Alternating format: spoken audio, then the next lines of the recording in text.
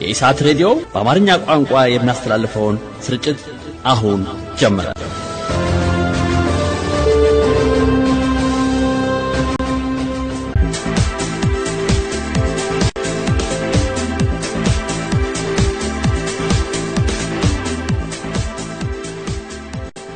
ባለፈው እሁድ የታሰሩት ጋዜጠኞችና የፖለቲካ መሪዎች እንዲሁም ሌሎች እስረኞች እንዲፈቱ የሚጠይቅና ጉዳዩ ትኩረት እንዲያገኝ በአገዛዙ ላይ ጫና ይፈጥራል የተባለ የማህበራዊ ሚዲያ ዘመቻ ተጠርቷል። ዘመቻው ስለ ጀግኖቻችን ዝም አንልም የህዝብ ልጆችን ልቀቁ በሚል መሪ ቃል ይካሄዳል። በዚህ ዙሪያ የመጀመሪያ ዝግጅታችንን ወደ እናንተ የምናቀርብ ይሆናል። የአዲስ አበባ ከተማ አስተዳደር ለአዲስ አበባ ማስተር ፕላን አማካሪ ቦርድ አባላትን መሾሙ ተሰምቷል። የአባላቱ አሿሿም ደግሞ ብዙ ጥያቄዎችና አነጋጋሪ የሆነ መጥቷል የሚለው ጉዳያችን ደግሞ በዜና ትንታኔያችን የሚታይ ሁለተኛው ርዕሳችን ነው። የዛሬው ቃለ ዓውድ ፕሮግራማችን የዶክተር አብይ መመረጥ ምን እንድምታ ይኖረዋል በሚለው ዙሪያ ያምራላችሁ ስማቸው ከኦዴክ ስራ አስፈጻሚ የድርጅት ጉዳይ ኃላፊና ቃል አቀባይ ዶክተር በያን ኦሶባ ጋር ቆይታ አድርጓል። ይህንን ጉዳይ ወደ እናንተ ይዘን የምንመለስ ይሆናል። ከኢትዮጵያ ሳተላይት ቴሌቪዥንና ሬዲዮ ኢሳት የዛሬው ስርጭታችን ተጀምሯል። ቀዳሚው ዜና ነው። ዜናውን ልታሰማን ልዩ ጸጋይ እየጠበቀችን ትገኛለች። ዜናውን እንከታተል።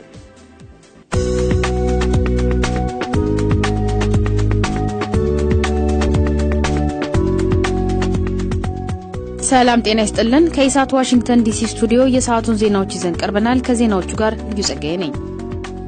የኢትዮጵያ ፓርላማ በመጪው ሰኞ የሀገሪቱን ጠቅላይ ሚኒስትር እንደሚሰይም መታወቁ፣ ሚስተር ሀርማን ኮን ዶክተር አብይ ደፈር ያለ የለውጥ እርምጃዎችን እንዲወስዱ ጥሪ ማቅረባቸው፣ ፕሬዚዳንት አብዱልፈታህ አልሲሲ በድጋሚ ሊመረጡ እንደሚችሉ የቅድመ ምርጫ ውጤቶች ማመልከታቸው ለዕለቱ የያዝናቸው አበይት ርዕሶቻችን ናቸው።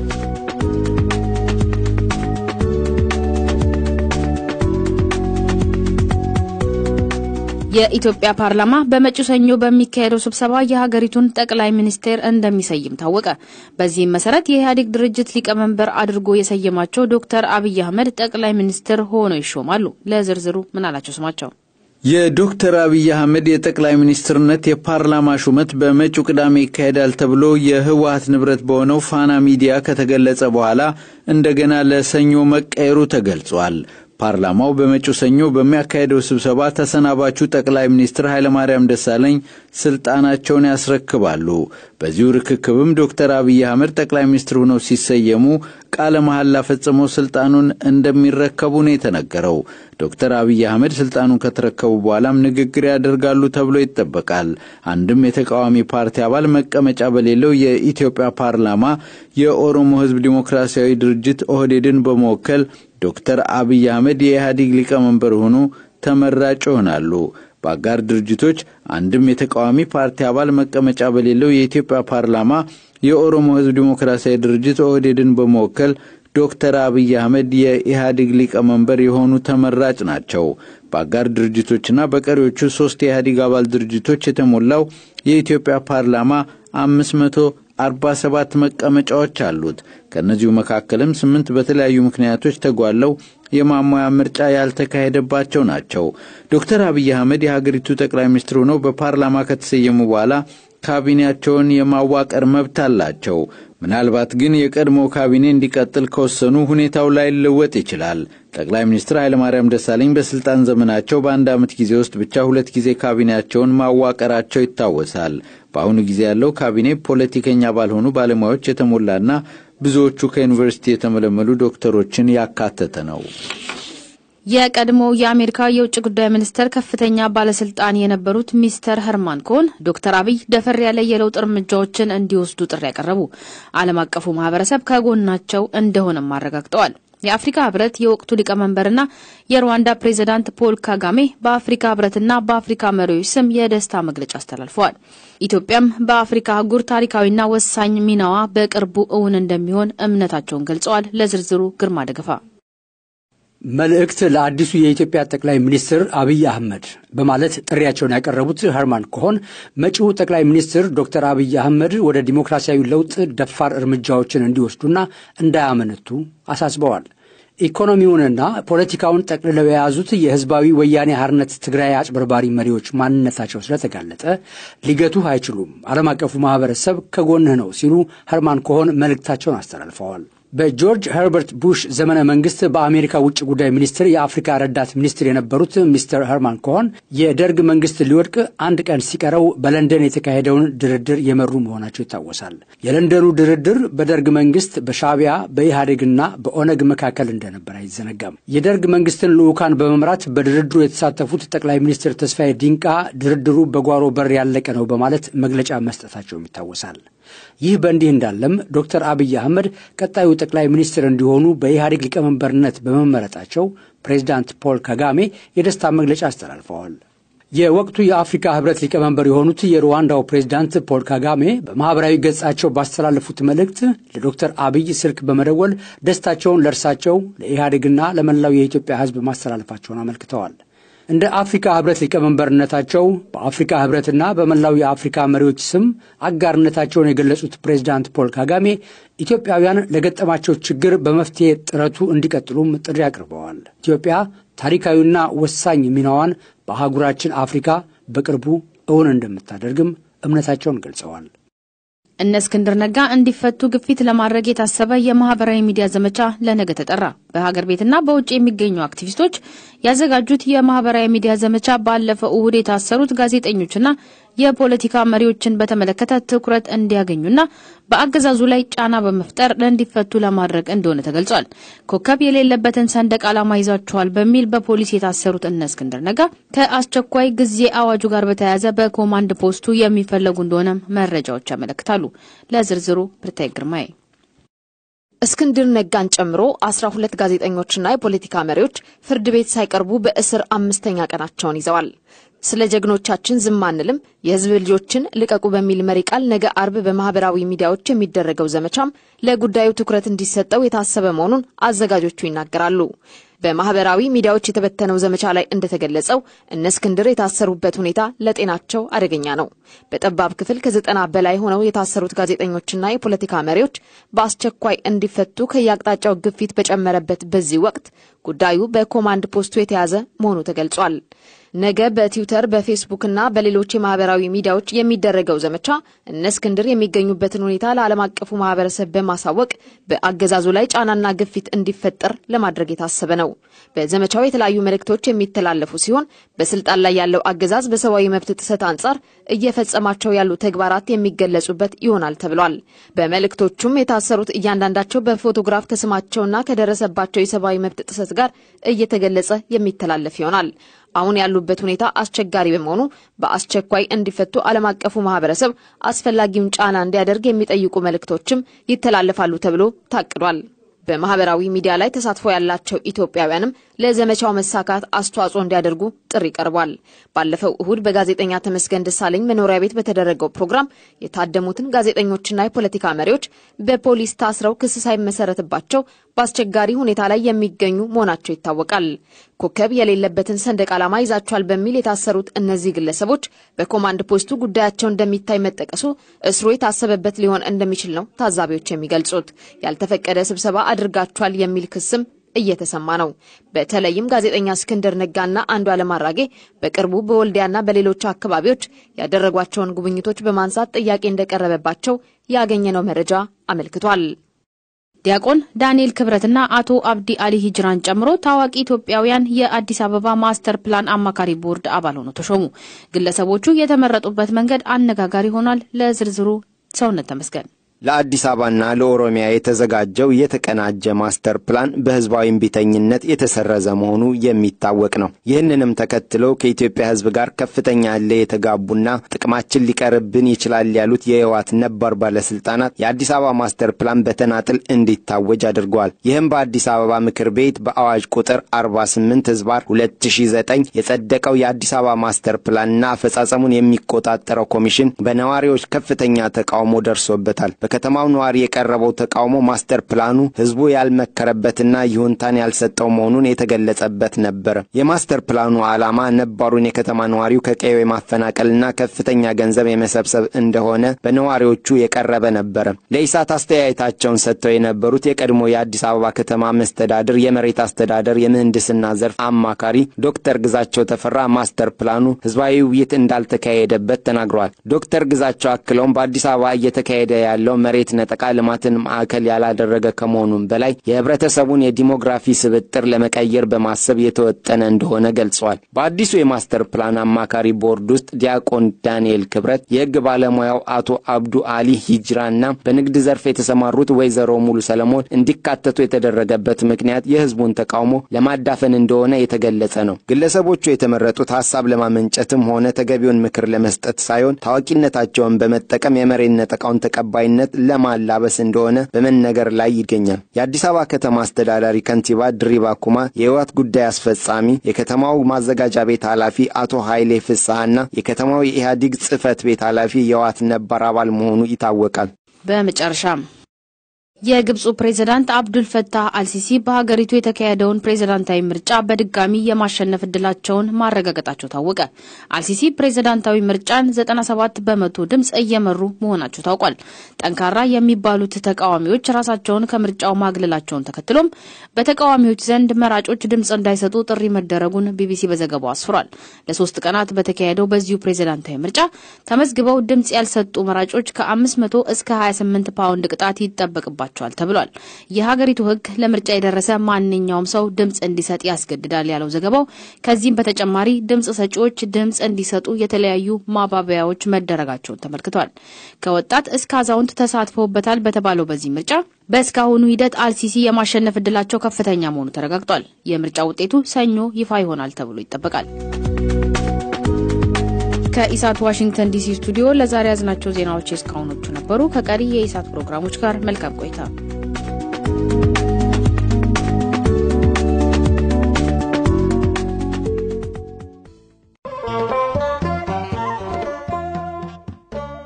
የኢትዮጵያ ሳተላይት ቴሌቪዥንና ሬዲዮ ኢሳት ለሚሊዮኖች ድምፅ በመሆን መረጃን ለኢትዮጵያውያን እያደረሰ ዓመታትን አስቆጥሯል።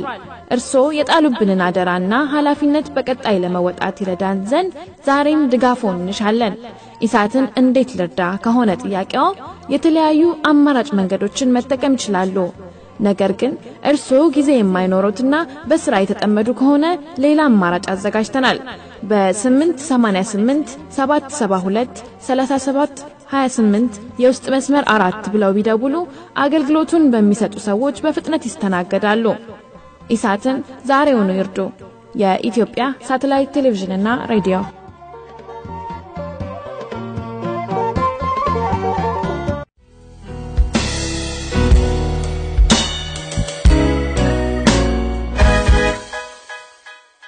የኢትዮጵያ ሳተላይት ቴሌቪዥንና ሬዲዮ ኢሳት ላለፉት ስምንት ዓመታት የኢትዮጵያ ሕዝብ ሁለንተናዊ ነጻነቱን እንዲጎናጸፍ በሚደረገው ትግል ውስጥ ወሳኝ ሚና ተጫውቷል።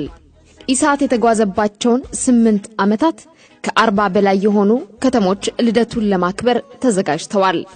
የተለያዩ የዋጋ መጠን ያላቸው በዶላር፣ በዩሮ፣ በፓውንድ፣ በክሮነርና በሸክል የመግቢያ ትኬቶች ተዘጋጅተዋል።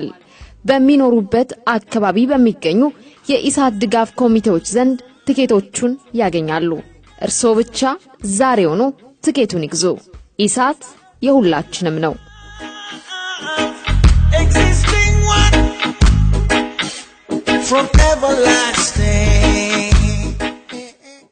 የኢትዮጵያ ሳተላይት ቴሌቪዥን ኢሳት ከተቋቋመበት ጊዜ ጀምሮ በሁለንተናዊ የሀገራችን ኩነቶች ላይ መረጃዎችን ለማድረስ የሚችለውን ሁሉ በማድረግ ላይ ይገኛል።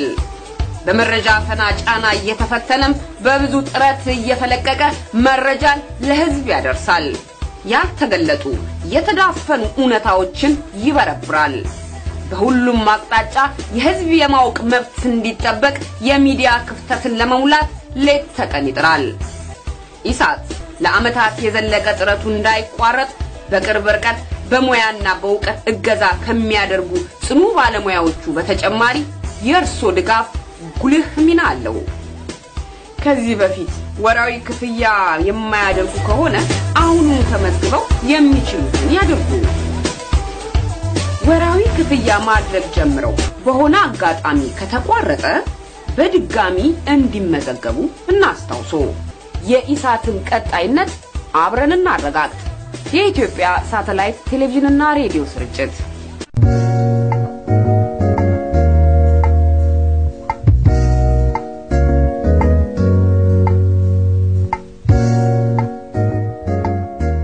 በኤክሲሳ Dhaabbanni raadiyoo fi televezyiinii saatalaayitii Itoophiyaa sagalee uummataa ta'uudhaan odeeffannoo wayitaawaa haqarratti hundaa'e dabarsuun waggoota lakkoofsiseetii jira. Haa ta'u malee har'as ta'ee boru ergama uummatummaa ba'uuf akkasumas hojii eegalame galmaan ga'uuf gargaarsi keessan yoomiyyuu caalaa barbaachisaadha. Isaatti gargaaruudhaaf fedhanan qaba.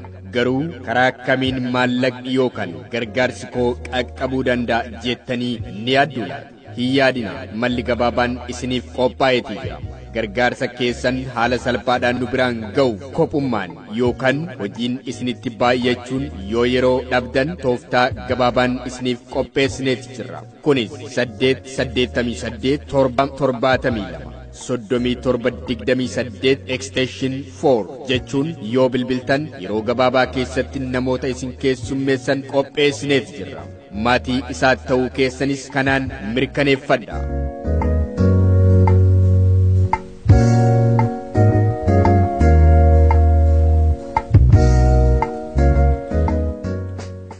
ዜናውን ሰምተን ማስታወቂያ አስከትለን ወደ እናንተ ተመልሰናል። ከኢትዮጵያ ሳተላይት ቴሌቪዥንና ሬዲዮ ኢሳት እየተላለፈላችሁ ያለው ዝግጅታችን እንደቀጠለ ነው። ስርጭቱን በመምራት ኢየሩሳሌም ተክለ ጻድቅ አብሬያችሁ ነኝ። በቴክኒክ ቅንብሩ ልዩ ጸጋይ አብረን ትቆያለች። ወደ መጀመሪያው ዝግጅታችን እናልፋለን። ባለፈው የታሰሩት ጋዜጠኞችና የፖለቲካ መሪዎች እንዲሁም ሌሎች እስረኞች እንዲፈቱ የሚጠይቅና ጉዳዩ ትኩረት እንዲያገኝ በአገዛዙ ላይ ጫና ይፈጥራል የተባለ የማህበራዊ ሚዲያ ዘመቻ ተጠርቷል። ዘመቻው ስለ ጀግኖቻችን ዝም አንልም፣ የህዝብ ልጆችን ልቀቁ በሚል መሪ ቃል እንደሚካሄድም ታውቋል። በዚህ ዙሪያ እንዳልካቸው ኃይለ ሚካኤል ዘመቻውን በቅርበት እየተከታተለ ይገኛል። ከዚህ በፊትም በማህበራዊ ድረገጾች ዘመቻን በማድረግ የሚታወቅ ነው። ከእንዳልካቸው ኃይለ ሚካኤል ዘመቻው ምን ይመስላል በሚለው ዙሪያ ቆይታ አድርገናል። አብራችሁን ቆዩ። ዋሽንግተን ዲሲ ከሚገኘው የኢሳት ሬዲዮ ወደ እናንተ እየተላለፈው ያለው ስርጭታችን እንደቀጠለ ነው።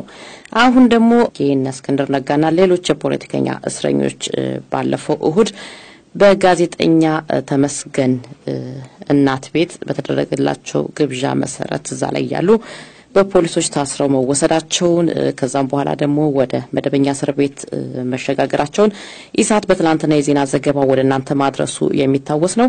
ዛሬ ደግሞ ስለ ጀግኖቻችን ዝም አንልም፣ የህዝብ ልጆችን ልቀቁ በሚል መሪ ቃል አንድ የማህበራዊ ሚዲያዎች ዘመቻ ተጀምሯል። ዘመቻው በዋናነት ነገ ነው የሚካሄደው።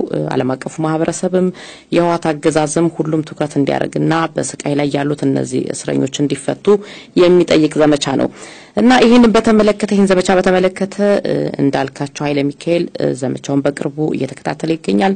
በማህበራዊ ድረገጾች በሚደረጉ ዘመቻዎችም ብዙ ጊዜ በመሳተፍ ይታወቃል እና ይሄ ዘመቻ ምን ይመስላል? እንዴት እየተካሄደ ነው? ነገ ነው በዋናነት የሚካሄደው እና ሂደቱስ ምን ይመስላል የሚለውን ለማነጋገር የስልክ መስመሬ ላይ ጋብዣለሁ። እንዳልካቸው ኃይለ ሚካኤል ስለ ቃለ ምልልሱ በቅድሚያ አመሰግናለሁኝ። እኔም አመሰግናለሁ ኢየሩሳሌም ስለጋበዝሽኝ። እሺ እንግዲህ ያው እነ እስክንድር ነጋ፣ አንዱዓለም አራጌና ሌሎችም የፖለቲካ እስረኞች ባለፈው እሁድ መያዛቸውንና አሁንም ያሉበት ሁኔታ እጅግ አሰቃቂ በሚባል ደረጃ መሆኑን ነው እየሰማን ያለ ነው እና ይህንን ድርጊት ለማስቀረትና ከታሰሩበት እንዲፈቱ የሚጠይቀው የማህበራዊ ሚዲያዎች ዘመቻ ነገ እንደሚካሄድ ይፋ ሆኗል። ይሄ ዘመቻ መግቢያ ላይ እንግዲህ ዋና መሪ ቃሉን አስቀምጫለሁኝ። በዋናነት እንዴት ነው እየተካሄደ ያለው?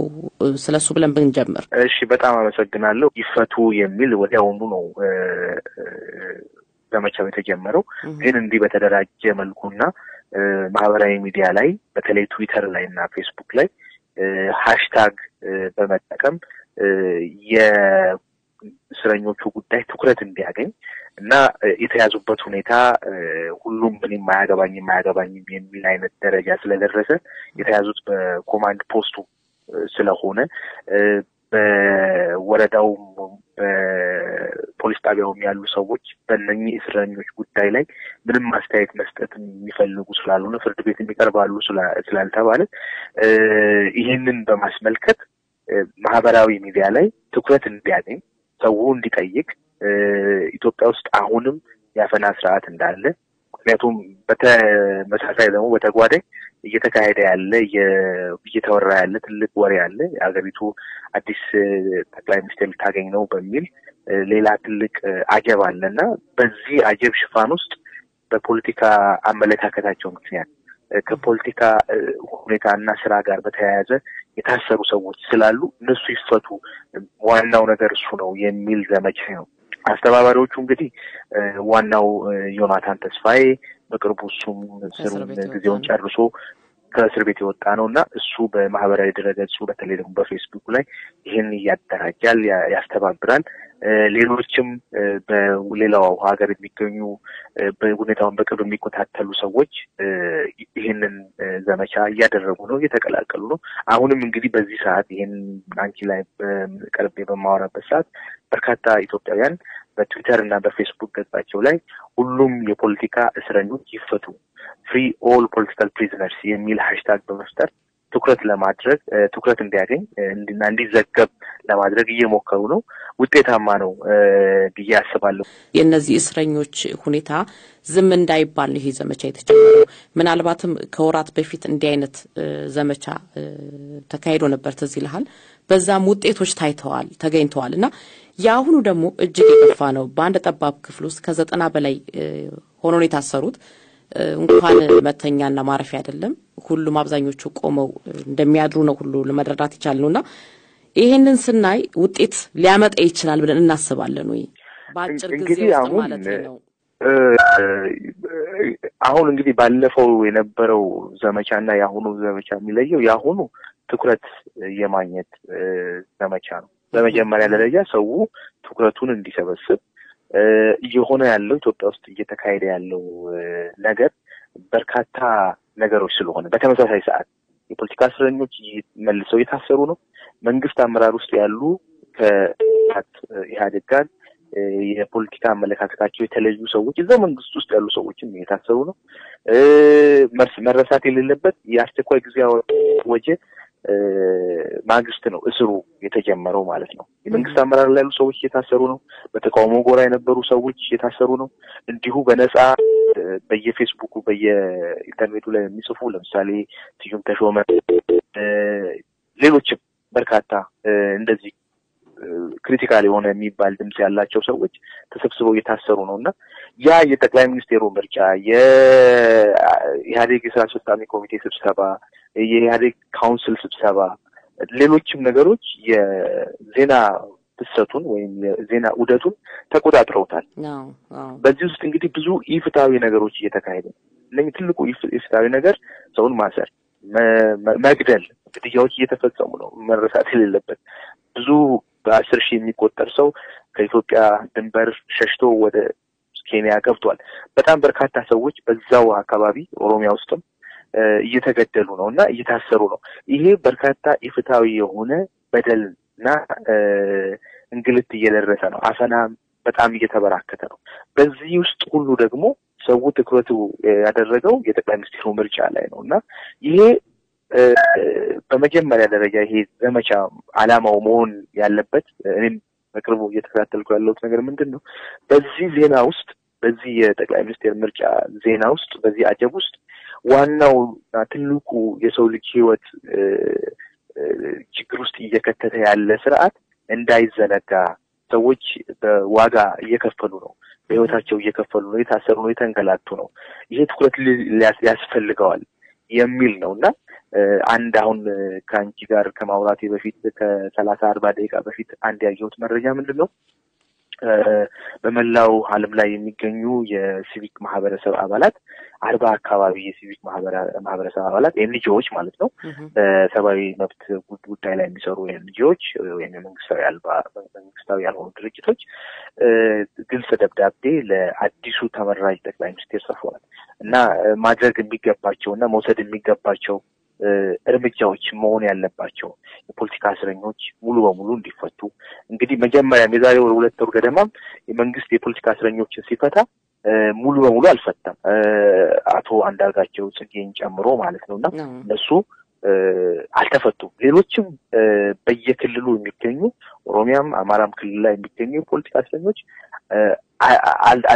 አልተፈቱም ነበር እና ያ በእንዲህ እንዳለ ነው እንግዲህ የፖለቲካ እስረኞች ተፈቱ፣ ፖለቲካ ምህዳሩ ሰፍቷል እና አዲስ ለውጥ አለ፣ ተስፋ ይሰጣል የሚል ምልክቶች እየተወሩ የነበረው ግን ያ በእንዲህ እንዳለ መልሰው አሰሯቸው። ባህር ዳር ላይ እንግዲህ በርካታ ኢትዮጵያውያን በብሔራቸው በማንነታቸው ተደራጅተው የፖለቲካ ጉዳይ ያገባናል የሚል ስብሰባ ሲያደርጉ እነሱ አስራ ሁለት አካባቢ ሰዎች ተሰብስበው ታስረዋል እና በርካታ ኢፍትሐዊ ነገሮች እየተካሄዱ ነው፣ እየተፈጸሙ ነው። ይሄ ሁሉ እንግዲህ በደንብ ዘገባና ሽፋን አላገኝም እና ይሄንን ሰው ትኩረት እንዲሰጠው የዓለም አቀፍ መገናኛ ብዙኃን ይህንን እንዲዘግቡት ኢትዮጵያ ውስጥም በዚህ በምርጫ ሰበብ ይሄ የተደረገ ያለው ኢሰብአዊ ድርጊት ትኩረት እንዲያገኝ የሚያደርግ ዘመቻ ነው። ምናልባትም ይሄ ዘመቻ ከዚህም በላይ እነ አንዱዓለም አራጌ እነ እስክንድር ነጋን ማለት ባለፈው እሁድ የተያዙትን ብቻ ሳይሆን እነ አቶ አንዳርጋቸው ጽጌን ጨምሮ በርካታ ያለ ስራቸው ወደ እስር ቤት የተወረወሩና ግፍን እየቀመሱ ያሉ ንጹሐን ዜጎችንም እንደሚያስለቅቅ ተስፋ አደርጋለሁኝ። እንግዲህ ነገ ዘመቻው ይጀመራል። በዛ ዙሪያ ምን ላይ ደረሰ፣ ምን አዲስ አዲስ ወሬዎች አሉ የሚሉትን ነገ እንግዲህ ይዘን የምንመለስ ይሆናል። ለአሁኑ እንዳልካቸው ኃይለ ሚካኤልን ስለሰጠህን ማብራሪያ ከልብ አመሰግናለሁ። እኔም አመሰግናለሁ። እሺ፣ ሰላም ዋል። መረጃን በማቅረብ በማዝናናት በማስተማርና ሕዝብን በማሰባሰብ የኢትዮጵያ ሳተላይት ቴሌቪዥን አሁንም ይተጋል። በአሁኑ ሰዓት በቀን በሚሊዮን የሚቆጠሩ ኢትዮጵያኖች ይጠብቁታል። ሚሊዮኖች እውነታቸውንና ምኞታቸውን እንዲናገር ይጓጉለታል። ሚሊዮኖች አፋቸው ታፍነው ትንፋሻቸውን ለኢሳት ሰጥተውታል። ብዙዎች ደግሞ ተስፋቸውን ያዩበታል። ነገር ግን ስንቶች በአቅም ይደግፉታል፣ ስንቶች ምን ጎሏል፣ በምን እንርዳ ይሉታል። ስንቶች የታፈነውን ህዝብ አገልግሏል ብለው ኢሳት እንዲቀጥል ይጥሩለታል። መልሱን ለርሶ ለራሶ ትተናል። ህዝብን የሚያገለግሉ ተቋማትን ማጠናከር ከፈለጉ ለብዙሃን ብለው እንደ ሻማ የሚቀልጡ ጥቂቶችን ማገዝ ከፈለጉ መገልገል ብቻ ሳይሆን አካል መሆን ከወደዱ ኢሳት እንዲቀጥልና ወገኖቹን እንዲያገለግሉ ከተመኙ ethsat website ን ይጎብኙ።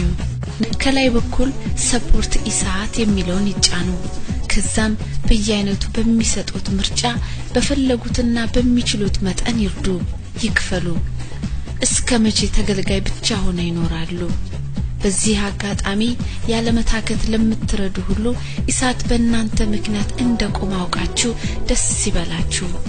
እናመሰግናለን። የኢትዮጵያ ሳተላይት ቴሌቪዥን ዘመቻ HR 128 የአሜሪካን ኮንግረስ የውጭ ጉዳይ ኮሚቴ አባላት የኢትዮጵያን ጉዳይ በሚመለከት House Resolution 128 HR 128 ሕግ ላይ ድጋፍ እንዲሰጡ በመጪው ሰኞ አፕሪል 2 በዲሲ ሰዓት አቆጣጠር ከ10 AM ጀምሮ በስልክ በኢሜይልና በትዊተር አድራሻቸው የቅስቀሳ ዘመቻ ስለሚደረግ በዘመቻው ተሳታፊ በመሆን የነጻነት ትግሉ አጋርነትዎን ያሳዩ። ቀን ሰኞ አፕሪል 2 2018 ሰዓት ከ10 AM ጀምሮ በዲሲ አቆጣጠር።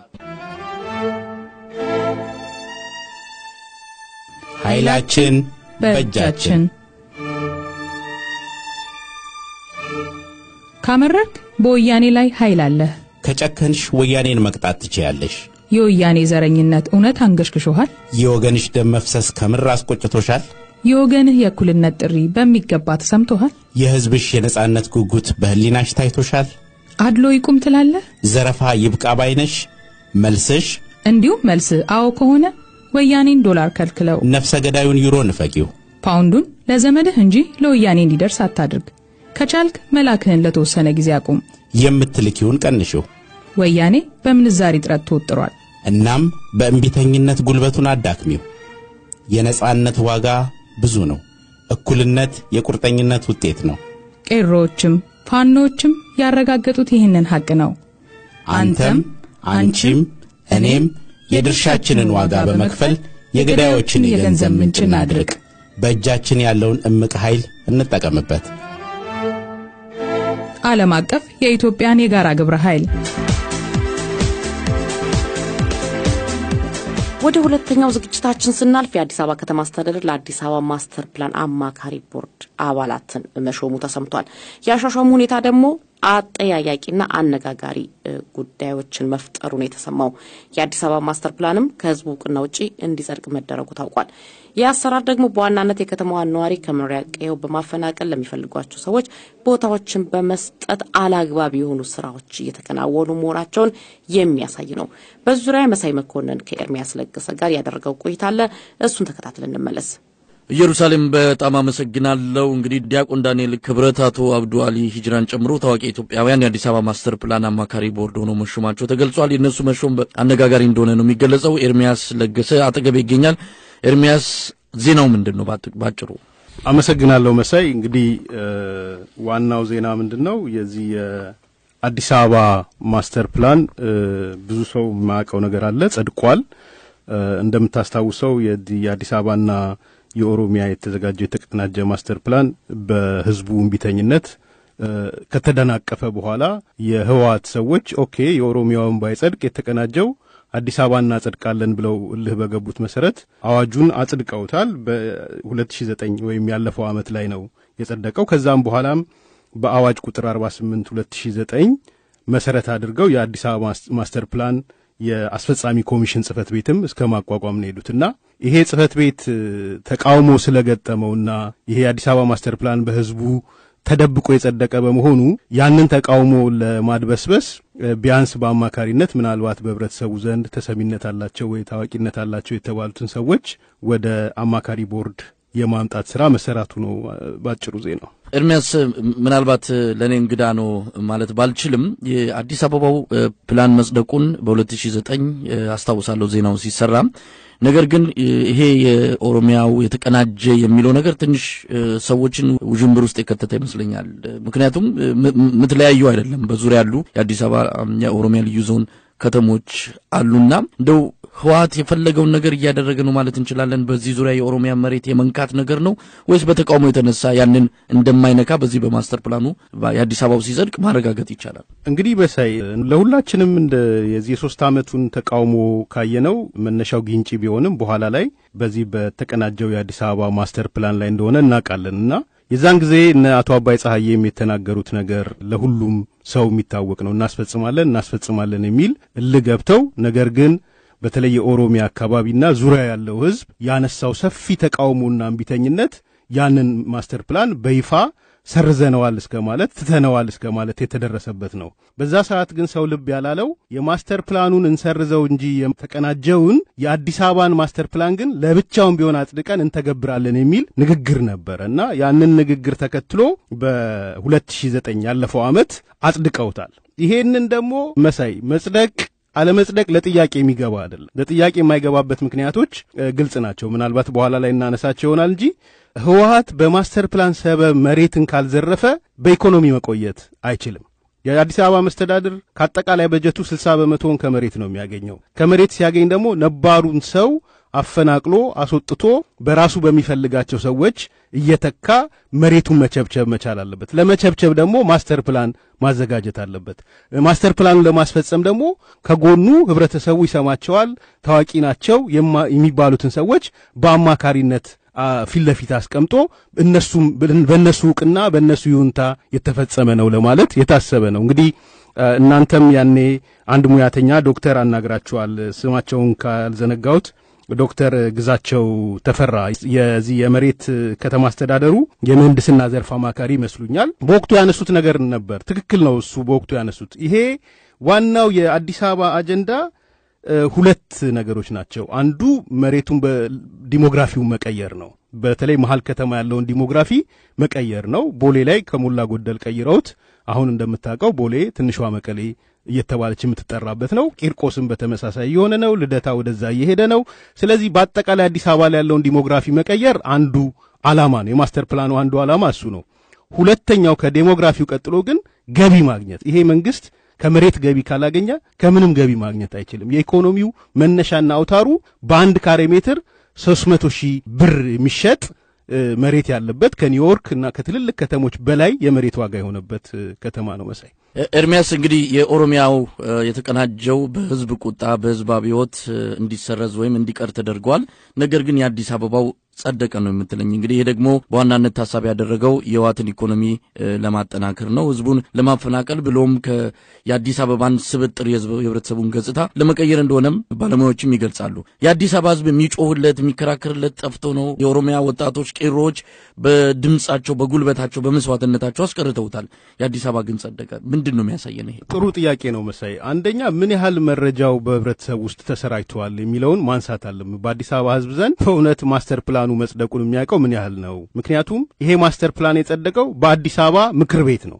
ቅድም ባልኩህ የዚህ ኮሚሽኑም ሲቋቋም የዚህ አስፈጻሚ ኮሚሽኑም በአዋጅ ቁጥር 48 2009 የጸደቀ ነው የማስተር ፕላኑ። ስለዚህ ለህዝብ ወርዶ እያንዳንዱ ቀበሌ ተወያይቶበት እያንዳንዱ ህዝብ ተወያይቶበት የወሰነው አይደለም። እንደውም ታስታውስ ከሆነ ውይይት የነበረችው የአዲስ አበባ ልዩ ጥቅም ምናምን የሚባል ነበረ። ህዝቡ የተወሰነ ተጠርቶ እሱም የከሸፈ ውይይት፣ ይሄ ክረምት ላይ የምናስታውሰው ማለት ነው። ስለዚህ ለህብረተሰቡ ውስጥ ግንዛቤ የተያዘበት አይደለም። ብዙ ሰው ቢጠየቅ አሁን እንዴ ማስተር ፕላን ጸድቋል እንዴ ብሎ እንደሚጠይቅህ እርግጠኛ ነኝ። ሰው አንዱ በድብቅና በሚስጥር የጸደቀ መሆኑ ነው። በሁለተኛ ደረጃ አደገኛነቱ ማስተር ፕላኑን የሚያስፈጽሙት ሰዎች በተለይ ከንቲባው የህወሓት ተላላኪ ነው። በጣም የታወቀ በዚህ በግምገማውም ላይ በሰፊው የተነሳ ነው። በኢህአዴግ ስራ አስፈጻሚ ግምገማ ላይ ከንቲባ ድሪባ ኩማ almost የህወሓትን አስፈጻሚ ተደርጎ የሚቆጠር ነው። ሶስተኛ የከተማው ማዘጋጃ ቤት ኃላፊም አቶ ኃይሌ ፍሳ ይባላል። የህወሓት የአቶ አርከበ ቁባይ የቅርብ ዘመድ ነው። አራተኛውና ዋነኛ አስፈጻሚው የአዲስ አበባ ኢህአዴግ ጽህፈት ቤት ነው። እሱም ቢሆን ተወልደ ይባላል። የህወሓት ነባር አባል ነው። ስለዚህ እነዚህ ነገሮች እየተፈጸሙ ያሉት በአቶ ድሪባ ኩማ፣ በአቶ ኃይሌ ፍሳ እና በተወልደ ኢህአዴግ ጽህፈት ቤቱ አማካኝነት ነው እና ለእነዚህ አማካሪ ተብለው ለተሾሙ ሰዎች እንደ አንድ ወንድም ምክር የምሰጠው እነዚህ ሰዎች የጠነጠኑት ነገር ውስጥ ገብቶ ለገንዘብም ይሁን ለተለያየ ጥቅም ማግኛ ይሁን መሄድ ነገ የሚያስከትሰው አደጋ ማየት አለባቸው። በተለይ ዲያቆን ዳንኤል ክብረትም አቶ አብዱ አሊ ይጅራ ይሄ በነገራችን ላይ ይሄ የአዲስ አበባ ላይም እንትን ማብራሪያ ሲሰጥ የነበረ በዚህ በምን ሬዲዮ ሸገር ሬዲዮ ላይ ማብራሪያ ፖለቲካ ማብራሪያ በአዲስ አበባ መሬቱ ላይ ማብራሪያ ሲሰጥ የነበር እነዚህን ሰዎች አምጥተው ሲከቱ እነሱ በድብቅ የሚፈጽሙትን ነገር ከለላ ሽፋን ለመሆኑን ህብረተሰቡ መረዳት አለበት። እነዚህም ሰዎች መረዳት አለባቸው። ነገ ከነገ ወዲያ ተጠያቂነት ይመጣል ብዬ እንደው ምክረ ሀሳብ ማንሳት እፈልጋለሁ። ኤርሚያስ፣ አሁን የመጨረሻው ሀሳብ ላይ እንደው ዘርዘር ያለ ማብራሪያ ብትሰጥ። እንግዲህ እንደ ይሄ የህወሓትን የኢኮኖሚና አጠቃላይ በላይነት ለማስጠበቅ የአዲስ አበባ ማስተር ፕላን በ2009 ጸድቋል። ይህን ህብረተሰቡ አቅም ከፍተኛ የሆነ አደጋ እንደሆነ ለህብረተሰቡ በተለይ ለአዲስ አበባ ነዋሪ እንደሆነ ይታወቃል። ነገ ከነገ ወዲያ ህብረተሰቡ መሬቱን የሚለቅበት ከነባር ይዞታው የሚነሳበት ነገር እንደሚመጣ ይጠበቃል። እነዚህ ሰዎች ይህን እያወቁ በታዋቂ ሰዎች አማካኝነት አሁን ዲያቆን ዳንኤል ክብረት እኚህ አብዱ አሊ የሚባሉት ሌሎችም አሉ። ወይዘሮ ሙሉ ሰለሞን ከአዲስ አበባ ንግድ ዘርፍ የተሰማሩ ናቸው። እንደነዚህ አይነት ታዋቂና በቢዝነስ ውስጥ ያሉ ሰዎችን በማስገባት የማስተር ፕላኑ አማካሪ ቦርድ ተቋቁሟል። እነዚህ ሰዎች ያውቁታል ወይ? የተለየ ጥቅም አላቸው ማለት ነው የምንችለው ምንድን ነው? እንደ ወደ መነፍስ ይገባሉ ማለት እንችላለን? እንግዲህ ካለማወቅ ከሆነም እንዲያውቁ ነው። እኛ ምክር ሀሳቡን ነው እያነሳ ያለሁት። በእርግጥ ቦርድ መሆን የራሱ የሆነ ጠቀሜታዎች አሉት። እኔም ቦርዶኛ አውቃለሁ። በወር የሚከፈል ትልቅ ብር አለ። ያ ከእንደገና የመሬት ጉዳይ ስለሆነ በግራም በቀኝ ኔትወርክ ትፈጥራለህ። እዚህ ቦታ መሬት አስገኝላችኋለሁ እያልክ አንተም በራስህ ይሄ የጥቅም ትስስር የምትፈጥርበት ነው። ስለዚህ የግለሰብ ጥቅም ለማግኘት ገብተው ከሆነ አንድ ጉዳይ ነው። በእርግጥም ለውጥ አመጣለሁ የሚሉ ከሆነ ግን ትክክል አይደለም። ለውጥ የሚመጣበት አይደለም። የማስተር ፕላኑ ዓላማ ምናልባት ወደ ኋላም ሄደው የበፊቶቹንም ማስተር ፕላን ቢያዩ አርሶ አደሩን ያፈናቀለበት፣ ነባሩን ነዋሪ ከከተማው ያስነሳበት፣ demography ውን የቀየረበት የአንድ ብሔር ተወላጆች በተለይ የትግራይ ተወላጆች በአዲስ አበባ ውስጥ በልደታ፣ በቦሌ፣ በቂርቆስ እና ዋና ዋና ቦሌ ሲኤምሲ እነዚህ ቦታዎች ላይ እንዲሰፍሩ ያደረገበት የጄኔራሎች የወሰዱበት በሊዝ ውጪ የሆነበት ነው። እና እዚህ ነገር ውስጥ እጅህን ስትነክር ነገ ከነጎዲያ ተጠያቂ መሆንህን ቢያንስ የሞራል ተጠያቂ መሆንህን ማየት መቻል አለብን፣ ለሃይማኖት አባቶች በተለይ ምክንያቱም ነገ ሊያስተምሩ ይወጣሉ። በየቤተ ክርስቲያኑ ሊያስተምሩ ሲወጡ ሰሞኑን አይተሃል። ከላፍቶ እና ከተለያዩ ቦታዎች ተፈናቅለው ድንኳን ውስጥ ያሉ ሰዎች እሬታቸውንና ቅሬታቸውን እያሰሙ ነው። እነዚህን ሰዎች ሊያስተምሩ ይወጣሉ። እነዚህ ሰዎች እነዚህን ሰዎች ልክ ነው ብለው ሊሉ ይችላሉ። ስለዚህ ራስን መቆጠብ እና ህብረተሰቡ ያከበረ ሰው at least አክብረው እንድትኖር ማድረግ ያስፈልጋል። የንግድ ምክር ቤትም ቅድም ያነሳት ከንግድ ጥቅም አኳያም ካየች ሌላ ሰው ሊወስደው የሚችል እርምጃ እንደሚኖር ማወቅና መገንዘብ ያስፈልጋል እና እነዚህ ሰዎች ያልተረዱት ከሆነ እንዲረዱት በትክክልም ጥቅም ለማግኘት ደግሞ ከሆነ ህብረተሰቡ በአደባባይ አውጥቶ የሚኮንናቸው ነገር መፈጠር አለበት ብዬ ነው ማምነው። ኤርሚያስ ለገሰ በጣም አመሰግናለሁ። እኔም እግዚአብሔር ይስጥልኝ አመሰግናለሁ መሳይ። በአምስት ሰባ አንድ ዜሮ ዜሮ አምስት አስራ ስድስት ሰላሳ ሰባት ከእናንተ ወደ እኛ የደረሱንን አስተያየቶች የምናዳምጥበት ሰዓት ነው። ተከታትለን እንመለስ።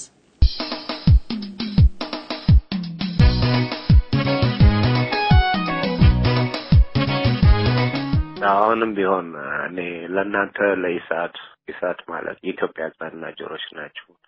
ምንጊዜም እኔ የምመኝለ ምንጊዜም ማለት ነው ጸሎቴ ከሌ ከሌ ሳልል ኢሳት ለስምንት ዓመት አደረሳችሁ ምላችሁ በጣም አሪፍ ዜና ነው። አብይ ማለት ለማ ማለት ነው። ለማ ማለት በቀለ ገርባ ማለት ነው። በቀለ ገርባ ማለት መራራ ማለት ነው። መራራ ማለት ገዱ ማለት ነው። ይሄ ኦርጋናይዝ ሊሆነ ማለት ነው። እኔ በአይኔ አሁን በፊት ለፊት ማለት ነው ቀንደኛ የወያኔ ጠላት ወያኔ ሆነ ማለት ጠላት ሳይሆን ወያኔ የሆነ ሰው በቃ እኮ እኔ እንዲህ ዝም ብዬ ቁጭ ብዬ እንዴት ነው ጦሩ አብይ መጣ፣ ለማ መጣ፣ ኃይለማርያም ደሳለኝ መጣ፣ ምንም እኮ ኢትዮጵያን በቃናል።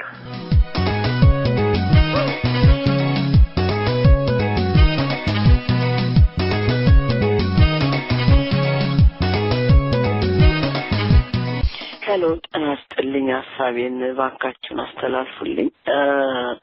ዶክተር አብይ እንግዲህ ጥሩ ጥሩ ስም አላቸው። ብዙ ሰው ይወዳቸዋል።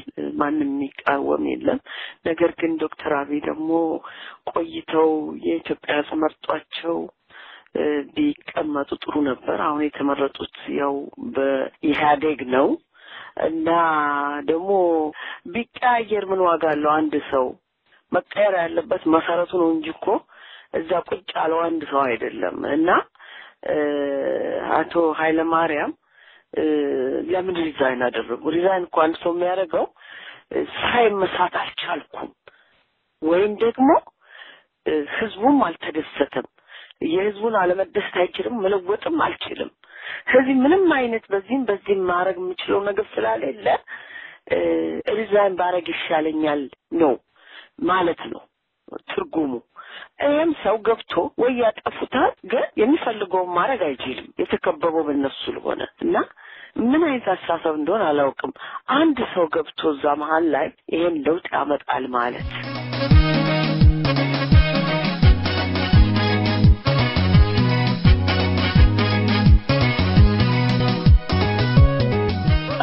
እሳቶች ሰላም ሰላም ሰላም እናንተ ጋር ይሁን።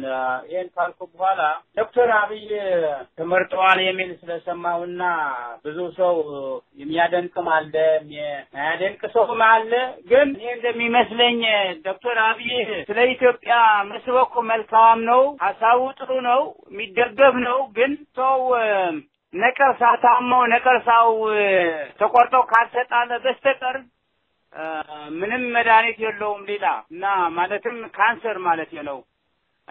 ካንሰር ከጎድን በሁለቱም በሶስቱም በመሀሉም በአራት ማዕዘን ቁጭ ብለው ወያነ ምንም ይሰራል ብለህ መጠበቅ ራስን ማታለል ነው የሚሆነው። ማንም ይሁን ማንም ሊሰራ የሚችለው የለም። ከወያነ ትግል መቀጠል አለበት። የህዝቡ ትግል መቀጠል አለበት። እስከ ግብ ሲደርስ ድረስ መቀጠል አለበት።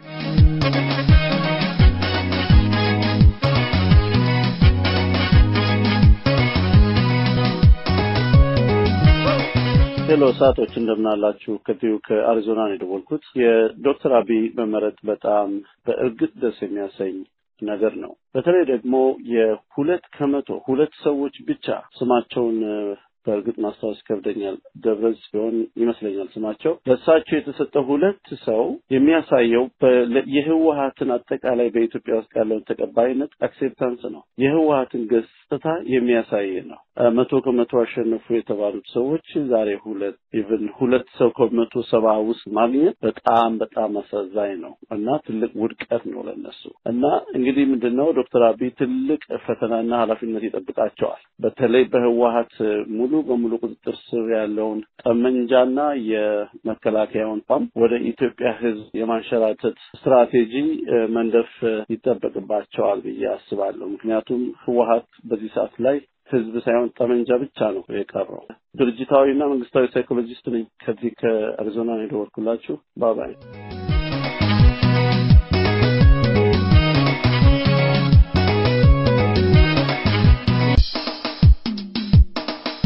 ዶክተር አብይ እንግዲህ እናትህ ምጥ ተይዛለች፣ ዶክተር ነህና ገላግላት።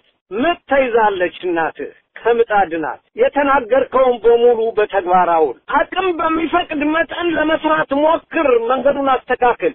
እኔ ግልጹን አድርጌ ልንገርህ፣ እስካሁን ድረስ እየመራ ያለው መለስ ዜናዊ ነው። አንድ ግለሰብ ነው። አሁንም በእሱ ራዕይ ነው የምንመራ ያለ ነው። አንድ ሰው ቁም ነገር የለውም፣ አንድ ሰው አይሰራም የሚባለው አላምንም። እኔ እንኳንስ ቁንጮ ላይ ሆኖ ከታች ሆኖ ወደ ላይም እንኳን ሀሳብ በመስጠት ያስተካክላል። ያልዳሰስከው ነገር የለም፣ ሁሉን ነገር ዳሰሃል። በእውነት እኔ እንጃ። ቃል በተግባር ነው የምጠብቀው፣ ቃል በተግባር ነው የምጠብቀው። እማዬ ተይዛለች እናትህ ከምጥ ካቢኔውን አፍርስ፣ የጋራ ራስህን ካቢኔ አደራጅ። ፓርላማው ይፍረስ፣ እንደገና ይመረጥ። የሽግግር መንግስት ይቋቋም። ተቃዋሚዎች በሙሉ ሀገር ውስጥ እስከ ውጭ ያሉ ይግቡ። ኢትዮጵያ ትመለከታለሽ የሚሉ ይግቡ። ስለ ሀገራቸው ይወያዩ። በቃ ይሄን ይሄን ካረክ ታስተካክላታለህ። ኢትዮጵያ ልጅ አግኝታለች። በእውነት በጣም በጣም በጣም ጥቂት ልጆች ነው ያላችኋት። አንዱ ልጅ ነህ። አደራ ነው የምልህ። እኔ አሁን ከሰባ ዓመት እድሜ በላይ ያለኝ ሰው ነኝ። እግዚአብሔር ምልክ ቢያንስ እንኳን የተወሰነ ምልክት ማየት ጓጓለሁ፣ በጣም ጓጓለሁ። አደራህን ልጄ፣ አደራህን፣ አደራ እንዳትበላ አደራህን። ቃል በተግባር ታደሰ ነኝ ከዲሲ አመሰግናለሁ።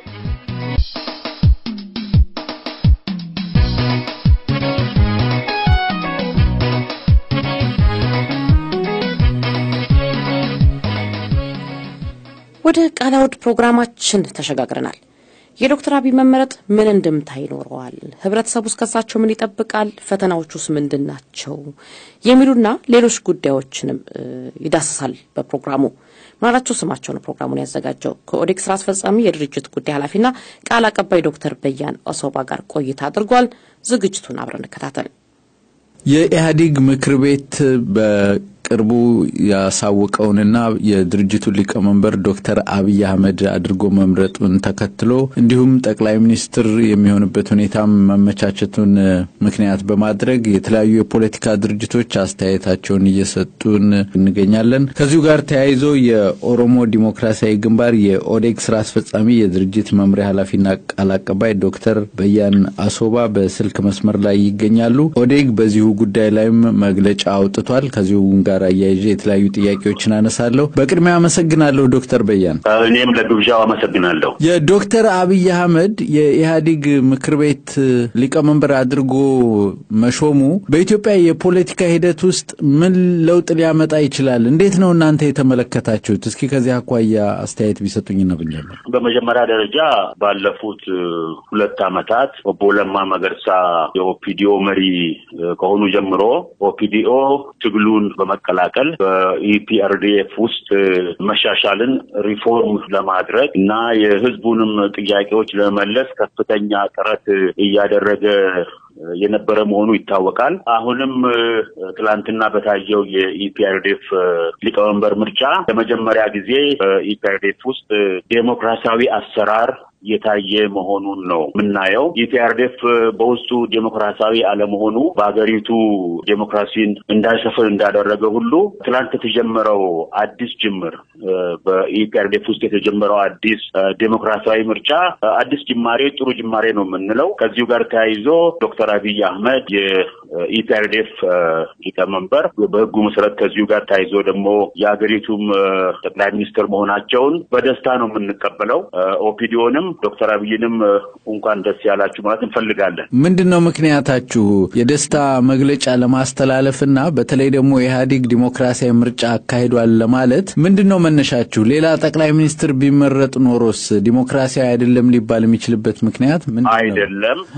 ማንም ማንም ሰው ትላንት በደረገው ምርጫ ዲሞክራሲያዊ በሆነ መንገድ ቢመረጥ ዲሞክራሲያዊ ምርጫ ነው የምንለው። ዶክተር አብይ ስለተመረጠ አይደለም ዲሞክራሲያዊ የምንለው። ግን ምርጫው እንደሰማነው በጣም ውድድር የነበረበት ብዙ እጩዎች የነበሩበት የተከፋፈለ ድምፅ የተሰጠበት መሆኑ ነው እና በመጨረሻ አብዛኛውን ድምፅ ያገኘ ሰው ነው የተመረጠው። ነው ሂደቱ ሂደቱን ነው ዴሞክራሲያዊ የምንለው እንጂ ማን ተመረጠ የሚለውን አይደለም። አንድ ሁለተኛ፣ ለምንድን ነው ከዚህ ተነስተን OPDO ን ጥሩ አቅጣጫ ይዘዋል ለማለት የምንለው ባለፉት ሁለት ዓመት እያ እያሳዩ ካሉት record ነው። አገሪቷ የገጠማትን አጠቃላይ ችግርና ቀውስ የመረዳት ሁኔታ ነው ከነሱ ብናየ ይሄንንም በመገንዘብ ነው ባለፈው ጊዜ የማዕከላዊ ኮሚቴ ውስጥ ስብሰባቸው የወሰናቸው ውሳኔዎች ብናይ ከወትሮ በጣም የተለዩ ኢትዮጵያን እያጋጠማት ያሉትን ችግሮች በሙሉ የመገንዘብና ከሌሎችም ጋር ተቃዋሚ ነን ከሚሉ ኃይሎች ጋር ሁሉ በመተባበር ለመፍታት መወሰናቸው ነው የተለየ የሚያደርጋቸው እና በዚህ ከዚህ ተነስተን ነው እውቅና እና ጥሩ ጅማሬ ነው የምንለው። ኢትዮጵያ በአሁኑ ጊዜ የገጠማት የተለያዩ ፈታኝ ችግሮች አሉ። በሕዝብም የሚነሱ የተለያዩ ጥያቄዎች አሉ። በተቃውሞ ስትናጥም የቆየችበት ሁኔታ አለ። የሕዝቡም ጥያቄ ሙሉ በሙሉ ምላሽ ያላገኘበት ሁኔታ ላይ ሆነው ነው አቶ አብይ አህመድ የኢህአዴግ ሊቀመንበር የሆኑት የአገሪቱም ጠቅላይ ሚኒስትር የሚሆኑት እና ከዚህ አኳያ እንደው ምን ይጠበቅባቸዋል ይላሉ? ይህን ሁሉ ችግርስ በዚህ ሁኔታ ለመፍታት ምን ያህል ይችላሉ ብለው ይገምታሉ? ድርጅታችሁ ከዚህ አኳያ ያለው አቋም ምንድን ነው? ይሄ በጣም ጥሩ ጥያቄ ነው። በመጀመሪያ አንድ እውቅና ልሰጥ ፈልጋለሁ። የቀድሞው የኢህአደግ መሪ ጠቅላይ ሚኒስትር ኃይለማርያም ደሳለኝ አገሪቷ የገጠማትን ችግር ብዙ ሁለገብ ችግር በመገንዘብ ስልጣናቸው ወርደው ችግሮችን ለመፍታት ተሳታፊ ለመሆን ያደረጉት ውሳኔ በጣም ታሪካዊ ነው። ይህም ሊጠቀስ የሚገባው ነው። ሌላው ትክክል አገሪቷ ዛሬ መስቀለኛ መንገድ ላይ ነው ያለች። አጠቃላይ የኢኮኖሚ፣ የፖለቲካ፣ የጸጥታ፣ የሰብአዊ መብት አጠቃላይ ቀውስ ውስጥ ነው ያለችው። ዶክተር አብይ በዚህ አገሪቷ ከፍተኛ ችግር ላይ ባለች ጊዜ ነው የተመረጡት። ከፍተኛ challenge ፈተናም እንደሚገጥማቸው በጣም ግልጽ ነው። ይሄንን ኢህአደግ እነኝን አገሪቷን ያጋጠሙትን ሁለገብ ችግሮች ኢህአደግ ብቻውን እወጣለሁ ካለ አይቻልም። አገሪቷን ያጋጠሙት ሁለገብ ችግሮች የሁሉንም ዜጎች የሁሉንም ድርጊቶች ተሳትፎ ይፈልጋሉ። አዲሱ ጠቅላይ ሚኒስትር ሚና ለዚህ ሁኔታ ማመቻቸት ይሆናል ብለን ነው የምናምነው። እነዚህ ሁኔታዎች እንዲመቻቹ በመጀመሪያ ደረጃ አዲሱ ጠቅላይ ሚኒስትር በግልጽ ኢህአደግ የገባቸውን ቃል ኪዳኖች ማሟላት አለበት ብለን እንጠብቃለን። በተለይ አሁን አላግባብ የሆነው ህገወጥ የሆነው ህዝቦችን እያፈነ ያለው የአስቸኳይ ጊዜ አዋጅ በአስቸኳይ መነሳት አለበት፣ አዲስ ጅማሬ ለማድረግ። ከዛ ቀጥሎ የፖለቲካ እስረኞች በሙሉ መፈታት አለባቸው። ኢትዮጵያ የፖለቲካ እስረኞች የማይኖሩባት አገር መሆን አለባት። ከዛ ቀጥሎ of course በጣም አፋኝ የሆኑ ህጎች መነሳት አለባቸው፣ መሻር አለባቸው። ሁሉን ነገር ደግሞ በሁሉ ህዝቦች ተሳትፎ ለማሳካት ከተቃዋሚ ኃይሎች ጋራ በሀገር ቤትም ካሉ በውጭም ካሉ ተቃዋሚ ኃይሎች ጋራ በአስቸኳይ ሁሉ አቀፍ ብሔራዊ dialogue ንግግርና እርቅ መጀመር አለበት። እነኚህ ሁኔታዎች ደረጃ በደረጃ እየተወሰዱ ከሄዱ ምናልባት አዲሱ ሊቀመንበር አዲሱ prime minister የህዝቦችን ጥያቄዎች ለመመለስና አገሪቱ ያጋጠማትን ሁለገብ ችግር ለመቅረፍ ትክክለኛ አቅጣጫ ይይዛሉ ብለን እንገምታለን፣ እንጠብቃለን። ይህን ካደረጉ እኛም እንደ ተቃዋሚ ድርጅት የአገሪቷን ችግሮች ለመፍታት በሚደረገው ውስጥ የራሳችንን ተሳትፎ እና ትግል ለማድረግ ዝግጁ መሆናችን ነው በዚህ አጋጣሚ ለመግለጽ ነው ፈልገው በኦሮሞ ዲሞክራሲያዊ ግንባር መግለጫ የዶክተር አብይ አህመድን መመረጥ ምክንያት በማድረግ ባወጣችሁት እንደዚሁ ተቋማዊ የሆኑ ማሻሻያዎች እንዲደረጉም ጠይቃቸዋል። የፍትህ፣ የምርጫ ስርዓቱ፣ እና የጸጥታ አካላትም የማሻሻያ ስራ እንዲሰራባቸውና ተመሳሳይ የፖለቲካ ሂደቱም ሁሉንም አሳታፊ እንዲሆን አሁን እንደገለጹት ጠቅሳቸዋል እና የእኛ ተሳትፎም በዚህ አኳያ ይኖራል ስትሉ እነዚህ ሁኔታዎች ከተሟሉ ምን ለማድረግ ነው ያሰባችሁት? እንደ ድርጅት አዎንታዊ ይሆናል ስትሉ ምን ማለት ነው? አዎ፣ በመጀመሪያ ደረጃ እነኚህ institution ኖች የጦር institution፣ የፖሊስ institution፣ የፍርድ ቤቶች፣ የጸጥታ፣ የምርጫ አስተዳደር institution እነኚህ institution ኖች እስከ ዛሬ ድረስ ህዝብን አላገለገሉ። በዲሞክራሲያዊ ስርዓት እነኚህ ተቋሞች የህዝብ አገልጋይ መሆን አለባቸው። እነኚህ institute ኦች reform ይደረጉ ስንል ፍርድ ቤትም ከማንኛውም አካል ነፃ የሆነ ለህግ ብቻ ተጠሪ የሆነ አካል እንዲሆን የምርጫ አስፈጻሚውም አካል የፖለቲካ ድርጅት መሳሪያ ሳይሆን ከነኚህ ሁሉ ሁሉ ነፃ የሆነ ሀቀኛና ፍትሐዊ ምርጫን ለማስተዳደር የተቋቋመ institution እንዲሆን ሌሎችም የጸጥታና የጦር አካሎች ደግሞ ህዝብና ሀገርን አገልጋይ መሆናቸውን እንዲያውቁና ከፖለቲካ ድርጊቶች የተለዩ መሆናቸውን እንዲገነዘቡ civil servant እነኚህ ሁሉ ሪፎርሞች መደረግ አለባት። እነኚህ ሪፎርሞች እንዲሳኩ የኛ የኛ ፕሮግራም ነው። የኛ ፕሮግራም ይሄን ያመለክታል። የእኛ ድርሻ ምንድን ነው ስንል እንደ ማንኛውም ለዲሞክራሲ የቆመ ለሰብአዊ መብት የቆመ ህግ የበላይነት የቆመ ድርጅት ከሌሎችም ድርጅቶች ጋር ሆነን እነኚህ ስልጣን ላይ ያለው ገዢ ፓርቲ እነኚህ ካመቻቸ የእኛን አስተዋጽኦ እናደርጋለን ለማለት ፖለቲካ ተሳትፏችንን እናበረክታለን ለማለት ነው። ያንን የጠቀስ ነው። በመጨረሻ ዶክተር በያን በአሁኑ ጊዜ ዶክተር አብይ አህመድ የስልጣን እድል አግኝተዋል። በቀጣዩም እርምጃቸው እርስዎ የጠቀሷቸውንም ይሁን ሌላ አዳዲስ እርምጃዎች እንደሚወስዱ ብዙ ሰው ይጠብቃልና በዚህ ሁኔታ ደግሞ ያለፈው የህዝብ እንቅስቃሴና አመፅ ተቃውሞ ቀጥሎ የነበረበት ሁኔታ ነው ያለው እና ለዶክተር አብይ አህመድ እድል መሰጠት አለበት ብላችሁ ታምናላችሁ ወይንስ ተቃውሞ እንዲቀጥል ነው የምትፈልጉት? ህዝቡ ምን አይነት ቀጣይ እርምጃ እንዲወስድ ትፈልጋላችሁ? ህዝቡ ለዶክተር አብይ ራዕያቸውን፣ ፕሮግራማቸውን፣ የህዝቡን ጥያቄዎች እንዴት ሊፈቱ እንዳሰቡ እንዳቀዱ ለመስማት ጊዜ መስጠት አለበት። ይሄንን እንላለን። ግን ህዝቡ ትግሉን ያቁም አንልም። ምክንያቱም ለእነኚህ ለዘረዘርናቸው ችግሮች ሁሉ መፈታት የህዝብ ትግል ወሳኝ ነው። እዚህም ድረስ ይህን አይነት ለውጦች የምናያቸውን በጣም አመርቂ encouraging የሆኑ ለውጦችም የታዩት በህዝብ ትግል ምክንያት ነው። አሁን አዲስ ጠቅላይ ሚኒስትር እስቲ መንግስታቸውን ይመስርቱ፣ ራዕያቸውን፣ እቅዳቸውን ለኢትዮጵያ ያላቸውን እቅድ እንዲሁም ለቀጠናውም ያላቸውን እቅድ ለህዝቦች ጥያቄ መልስ መስጠትን በሚመለከት ያላቸውን እቅድና እርምጃዎች ለመስጠት ጊዜ ያስፈልጋቸዋል። ምንም ጥያቄ የለው። ይሄንን ለመስማት ህዝብ መዘጋጀት አለበት። ስልጣን ከያዙና የያዙት ስልጣን ደግሞ እነኚህን የህዝብ ጥያቄዎች ለመመለስና ህዝብን ለማገልገል መወሰናቸውን የሚያሳዩ እርምጃዎች ካሳዩ የህዝብ ድጋፍ እንደሚኖራቸው ምንም ጥያቄ የለውም። ያ ካልሆነና እንደ ድሮ የመቀጠል ደግሞ አዝማሚያ ደግሞ ካለ የህዝብ ትግል ይቀጥላል። ስለዚህ መልሳችን የህዝብ ትግል ይቁም አይደለም የምንለው፣ መቆምም የለበትም። ህዝብ የሀገሩ ባለቤት እስኪሆን ድረስ ህዝብ ራሱ በመረጠው አስተዳደር እስኪተዳደር ድረስ ትግሉ መቀጠል አለበት። ዴሞክራሲ እስኪሰፍን ድረስ ትግሉ መቀጠል አለበት። ግን አሁን የሚታየው በኢህአደግ ውስጥ የሚታየው የዴሞክራሲ process እና የአዲስ ጠቅላይ ሚኒስትር ምርጫ ህዝብ ለተወሰነ ጊዜ benefits of the doubt የሚለውን ሰጥቶ ማዳመጥ ጊዜ መስጠት አለበት እንላለን። ይሄም ረዥም ጊዜ አይሆንም እና በቅርቡም አዲሱም ጠቅላይ ሚኒስትር ራዕያቸውን እነኚህን ያጋጠሙን ችግሮች እንዴት ሊፈቱ እንደሚፈልጉ ምን አይነት መንግስት እንደሚመሰረቱ ለማየት ጊዜ መስጠት ያስፈልጋል ብለን ነው የምናምነው። የኦሮሞ ዲሞክራሲያዊ ግንባር ኦዴግ ስራ አስፈጻሚ የድርጅት መምሪያ ኃላፊና ቃል አቀባይ ዶክተር በያን አሶባ የዶክተር አብይ አህመድ የኢህአዴግ ሊቀመንበር ሆኖ መመረጥ ምክንያት በማድረግ ለሰጡኝ አስተያየት በኢሳትና በአድማጮች ስም አመሰግናለሁ። እግዜር ይስጥልኝ። ታንኪዩ ምን አላቸው። ታንኪዩ ለወገኖ ተስፋ መሆን ይሻሉ። እንግዲያው ሀገራችን ኢትዮጵያ እንደ ሀገር እንድትቀጥል የሚፈልግ ማንኛውም ሰው ፈጽሞ የማይቀርበት የወገን ጥቃት ያንገበገበው የዘመድ መገፋት መናቅና በገዛ ሀገሩ ባዳ መሆን የቆጠቆጠ ሁሉ ለነገ የማይለው ከከንፈር መምጠጥና ከማዶ ጭብጨባ ይልቅ በተግባር የሚታይ ትንሽ ነገር የናፈቀው ሁሉን ትቶ የሚገኝበት ታላቅ ህዝባዊ ስብሰባ በቨርጂኒያ ማዕዛ ሬስቶራንት ተዘጋጅቶለታል። የአማራ ዲሞክራሲያዊ ንቅናቄ አዲሃን ታላቁን የአማራ ህዝብ ደጀን ይዞ ወያኔን በመረጠው ቋንቋ ለማናገር እያደረገ ላለው የዕለት ከዕለት ጥረት የእርስዎን ድጋፍና እርዳታ ይሻል። ከአዲሃን ሰራዊት እንቅስቃሴ የተቀነጨበ ቪዲዮን ጨምሮ ሌሎችም አዝናኝ ዝግጅቶችም ይኖርናልና የኤፕሪል 1 4 PM ቀጠሮን በቨርጂኒያ ማዛ ሬስቶራንት ያድርጉ። አድራሻችን 5700 Columbia Pike Falls Church VA 22041 ነው። አዘጋጅ ኮሚቴው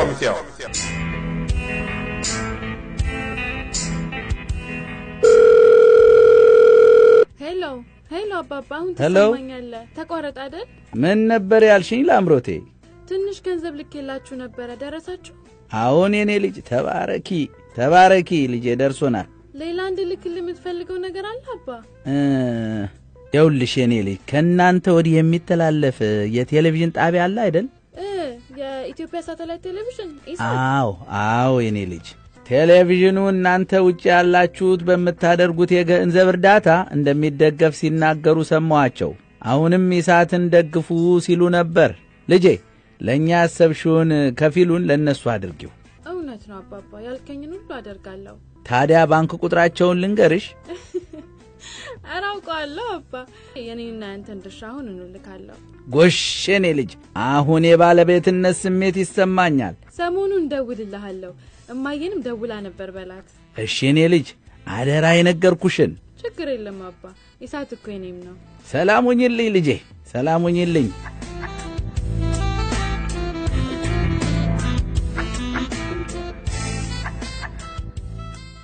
ታላቅ ህዝባዊ ስብሰባ በኮሎምበስ ኦሃዮ። ዛሬ በዘመናችን የደረስንበትን መስቀለኛ መንገድ እንዴት እንደ አንድ ታላቅና የአኩሪ ድል ባለቤት የሆነ ህዝብ ዳግም በድል አድራጊነት እናሻግረው?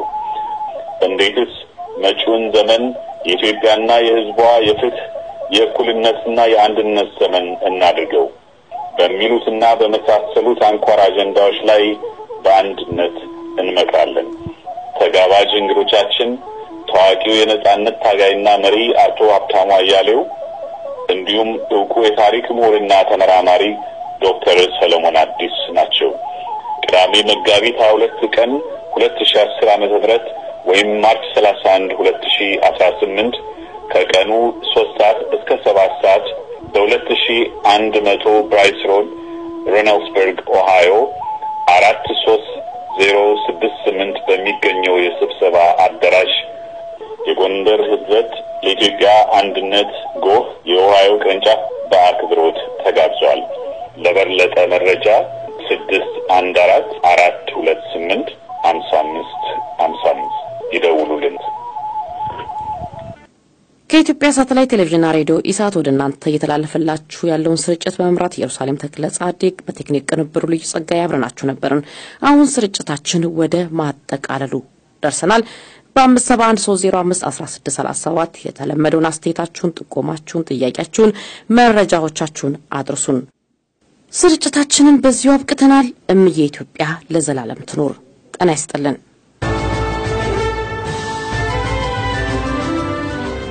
የዕለቱን የኢሳት ሬዲዮ ስርጭት በዚሁ አብቅተናል። በደህና አደሩ።